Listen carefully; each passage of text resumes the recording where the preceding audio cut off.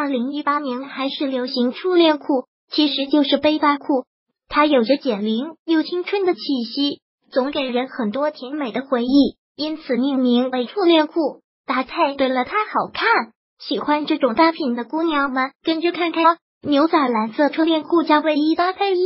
二零一八年还是流行初恋裤，这款牛仔蓝色的初恋裤，想必大家都不会陌生了吧？说不定你的衣橱上还备上了三五条了呢。哈哈，背带的款式穿脱方便，还很简练。深色的牛仔蓝色看起来比浅色的更显瘦的呢。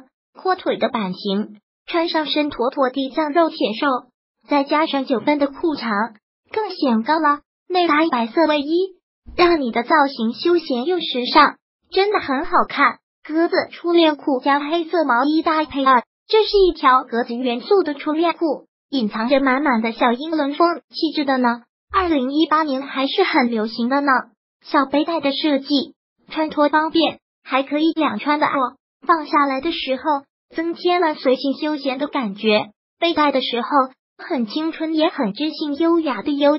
阔腿基本裤型，小个子都很适合的，穿上身显高又显瘦。内搭黑色毛衣。百搭显瘦又好看，脚踏一双黑色的小皮鞋，让你的造型多了几分帅气感和文艺范。黑色哈伦初恋裤加绿色衬衫搭配三，二零一八年流行的黑色的初恋裤，很干练、很知性的感觉。哈伦的版型对于粗腿的女生非常适合，显瘦效果真的不要太好了。高腰的设计，可调节的背带款式，穿上身真的太好看了。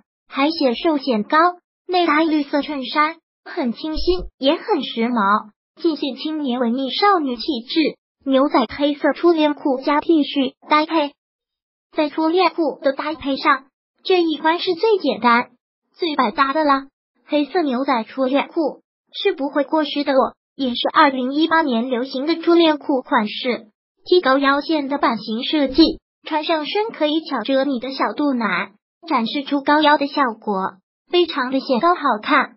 直筒的版型，九分的裤长，更是显瘦了，还很显高的呢。